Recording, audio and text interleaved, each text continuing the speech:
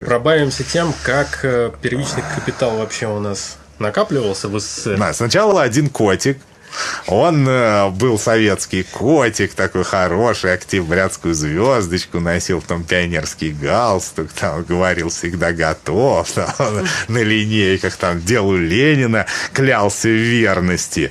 Но, блин, оказалось, он как в мальчишеке в мальчише был там такой персонаж, да, который бегал, кричал мальчиши, а с вами, вперед, ура! А сам, значит, притащил в этот Куда он им... А, на, на склад боеприпасов притащил вражеских этих гранат связку. И бахнул. И все. И конец всей обороне.